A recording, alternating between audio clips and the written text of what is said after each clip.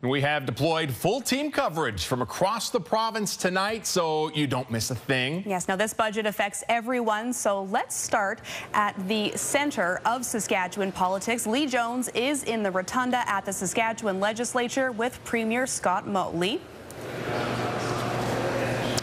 Yeah, thanks a lot, uh, Morgan, here with Premier Scott Moe, also, of course, the MLA for Rosthern Shellbrook. Thank you for joining us tonight here on Budget Day. Thanks so much, Lee. We just did a quick breakdown, of course, of the main budget numbers, but for yourself, what makes this budget work, the fact that basically you want to move forward here from COVID-19? Well, this budget really is a transition budget, and, you know, the theme of the budget is, is back on track. What we are seeing in this province is a, an economy that, you know, most certainly is, is back on track with, uh, you know, record investment, over $13 billion, uh, and, and, job increases year over year, uh, over 30,000 jobs that, uh, uh, that we've had arrive here in Saskatchewan over the course of the last year. So um, that allows us to uh, continue our, our, investment in public service, in public infrastructure, and most certainly we're seeing a budget that is, is coming much closer to balance than, than maybe we've been through the last two years of the pandemic.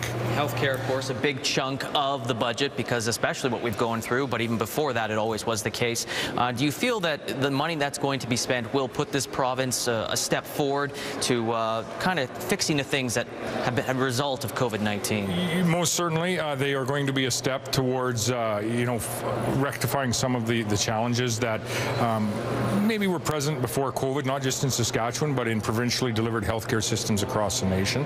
Uh, and some of the very targeted investments that we saw in today's budget most certainly are, are targeting, for example, the surgical wait times that we have across Canada and we have in Saskatchewan.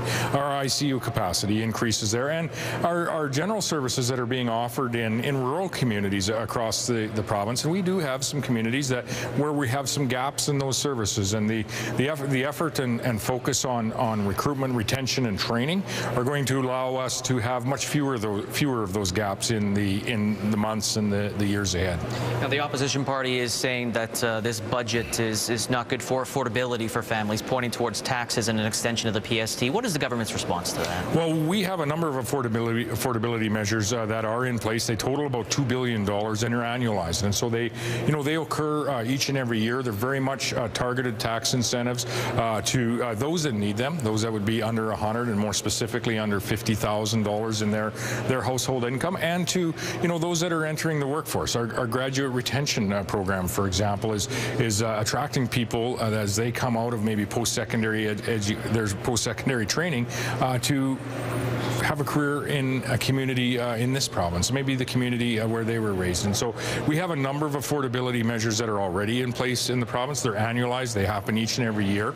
And there's a number of additional affordability measures in this budget that was released uh, today to uh, support uh, Saskatchewan families. I know in the past the Sask Party has been accused of relying too much on natural resources such as potash and oil, but the numbers that are projected are pretty conservative. Was that a specific point you wanted to do? Absolutely. We, we don't know how long these uh, the, the, the, quite high numbers that we're seeing on certain days, uh, in particular in oil, but also in potash. We don't know if that's going to be annualized out over the course of the of the entire year. And so, you know, what we're doing is we're being cautious uh, with the estimates uh, that we have, and we're being responsible with, uh, yes, bringing this budget back to a balance, bringing it back on track, um, but continuing to invest in those, you know, those services, notably in healthcare services across across this province, uh, that people really expect to have access to.